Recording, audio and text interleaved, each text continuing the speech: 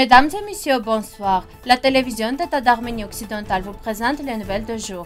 Les villes anciennes d'Arménie occidentale, Bayas, Artak Beglarian, le processus de délimitation et de démarcation de la frontière avec la République d'Arménie et ses résultats ne devraient pas affecter la situation actuelle et future de l'Artsakh. Le président du Parlement de l'Artsakh et l'ambassadeur de la CIO au Liban ont discuté des perspectives de coopération entre l'Arménie, l'Artsakh et la diaspora. Chef du diocèse d'Artsakh, je suis déçu de la réaction de la communauté internationale, les enfants célèbres d'Arménie occidentale, la famille Balian. Les soldats blessés pendant la guerre de 44 jours ont été accueillis au patriarcat arménien de Jérusalem. Par décision du gouvernement arménien, la réserve historique et culturelle Artsakh a été créée, soutenant la télévision d'État d'Arménie occidentale. La ville fortifiée de Bayas est située sur la rive orientale de la baie d'Alexandrie Iskanderi en Cilicie, en Arménie occidentale. Les informations sur les Bayas sont rares. À la fin du XIIe siècle, le dernier propriétaire de Bayas était l'un des principaux princes de l'Arménie cilicienne. Au même siècle, on se souvient de l'église de Surp Astvatsatin de Bazar, du caravansérail et des bains de Bayas. La forteresse polygonale et puissante située par la partie haute de la ville a été appelée forteresse de Kusanans par les historiens à la fin du XIIIe siècle, il est tombé sous la domination d'envahisseurs étrangers et est devenu un village pauvre. Elle s'est développée au XVIIIe siècle grâce à la mise en culture de terres fertiles environnantes. À la fin du XIXe siècle et au début du XXe siècle, la ville de Bayas était le centre du district du même nom. Elle comptait environ 5000 habitants arméniens engagés dans l'artisanat, le commerce et partiellement dans l'agriculture. Les Arméniens de Bayas ont été déportés pendant le génocide des Arméniens en 1915. La plupart d'entre eux ont été massacrés par les Turcs sur le chemin de l'exil, tandis que les survivants ont trouvé refuge en Syrie et dans d'autres pays. Après la Seconde Guerre mondiale, environ 300 Arméniens revenus d'exil ont vécu à Bayas. Le président azerbaïdjanais Ilham Aliyev a de nouveau fait des déclarations problématiques. En réponse à cela, le processus et les résultats de la démarcation et de la délimitation de la frontière avec la République d'Arménie, le statut actuel et futur de la République d'Artsakh ne devraient pas être affectés. Le ministre d'État de la République d'Artsakh, Artak Beglarian, a fait une série de remarques sur cette question sur le canal télégraphique. Après tout, le conflit de Karabakh ne concerne pas la République d'Arménie, mais la République du Nagorno-Karabakh. Le conflit Azerbaïdjan-Artsakh n'a pas été résolu et se fait reconnu par le monde entier. Et si l'Azerbaïdjan veut fermer la page du conflit, clarifier le statut de l'Artsakh, tout en restituant nos territoires occupés et en reconnaissant notre indépendance, il peut mener un processus de démarcation et d'abordement avec la République de l'Artsakh. Le principe essentiel de la résolution des conflits est la pleine réalisation et la reconnaissance des droits du peuple à l'autodétermination. Cependant, il existe un droit international sur la base duquel le droit des peuples à l'autodétermination est fondamental. Un autre principe important du droit international est le principe de non-recours à la force, mais celui-ci a été et toujours grossièrement violé par l'Azerbaïdjan. Encouragé et toléré, le comportement devient fait de plus en plus partie de la pratique internationale et du droit coutumier, ce qui entraîne des catastrophes internationales, a-t-il écrit. Nous rappelons que sur la base de la conférence de la paix de 1919, des reconnaissances internationales du traité de Sèvres en 1920 et du génocide des Arméniens, l'Arménie occidentale déclare que l'Artsakh fait partie intégrante de la République d'Arménie de 1920. La délégation dirigée par le président de l'Assemblée nationale de l'Artsakh, Arthur Tovmassian, a rencontré à Beyrouth le personnel diplomatique de l'ambassade de la République d'Arménie au Liban, Vahagan Atabakian. Au cours de la réunion, une conversation chaleureuse et amicale a eu lieu et les questions d'intérêt arménien, les perspectives de coopération entre la République d'Arménie, la diaspora et l'Artsakh ont été discutées. Les représentants de l'Arménie occidentale n'ont pas participé à cette réunion.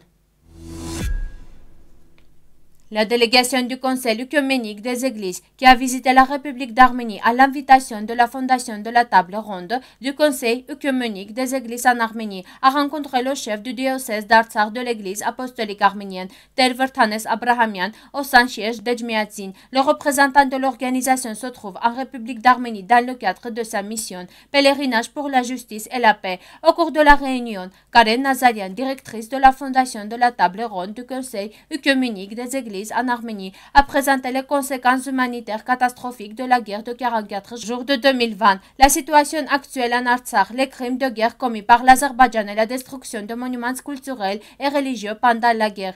Il a été noté que le représentant de la délégation s'intéresse à la situation socio-psychologique actuelle de la population de l'Artsakh. L'évêque Vertanes Abrahamian a déclaré qu'en tant que responsable spirituel, il était déçu de la réponse de la communauté internationale à la guerre d'Artsakh.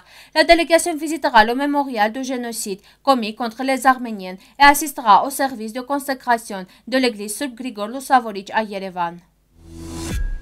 La signature du Balian est visible sur tous les bâtiments célèbres de Constantinople. La famille Balian est connue comme la famille la plus importante de l'architecture ottomane du 19e siècle en Arménie occidentale. Quatre générations de Balian d'origine arménienne, père, fils et frères, ont continué à pratiquer l'architecture sans interruption. Ils sont originaires de Kessaria, Kayseri. Ces architectes portant le nom de famille Balian se sont succédés pendant près d'un siècle, menant une vie prospère et influente. Les Balian ont été éduqués en Europe et sont devenus maîtres de leur art lorsque l'architecture européenne est devenue à la mode dans l'Empire. Leur large éventail d'activités professionnelles et leur talent naturel ont réduit le nombre de familles balianes célèbres dans le pays et à l'étranger. Les Balians ont construit la mosquée Tophan Nusretiye, la tour Bayazet, le château Beşiktaş, le château Arnavutkoy, Valid Sultan, ainsi que l'église arménienne sur Pastvatazine à Ortakoy, les célèbres palais d'Olmabahçe et Chiragan, les églises arméniennes sur Nishan, sur Yerortution, sur Pastvatazine et d'autres bâtiments magnifiques.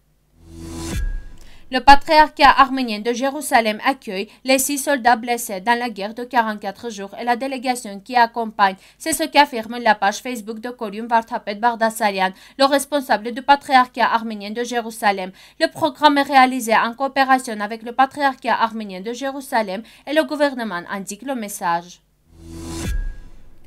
Par le décret du gouvernement de la République d'Arménie en date du 26 mai 2022, la réserve historique-culturelle Ardzek a été créée dans le village d'Ardzek de la communauté Ashtarak de la région d'Aragazoton de la République d'Arménie. À Ardzek se trouve le célèbre tombeau des rois Archakounias du IVe siècle. On y trouve également les restes des rois arméniens, peines et chrétiens, volés à restituer auparavant. On estime que l'ancien tombe a été construite en 364 lors des fouilles menées à proximité de la tombe antique, les fondations de la partie aérienne et les vestiges d'une église basilicale ont été mis au jour. Il convient de noter qu'il existe 14 musées de réserve en Arménie, dont 8 sont des réserves historiques et culturelles.